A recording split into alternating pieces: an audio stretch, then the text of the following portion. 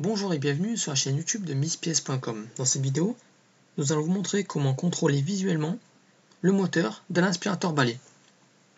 Pour l'exemple, nous avons pris un aspirateur balai Electrolux. Commencez par retirer l'unité de son support. Il faudra au préalable retirer le bac à poussière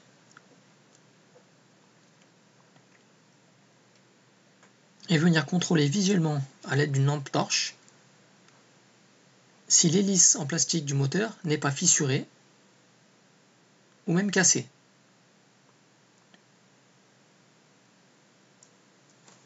Il faudra privilégier la partie de l'hélice située autour de l'axe du moteur, c'est-à-dire au centre.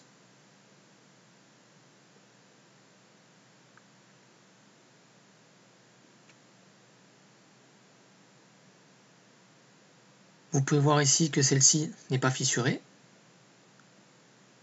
Elle ne présente aucune anomalie, elle est donc conforme.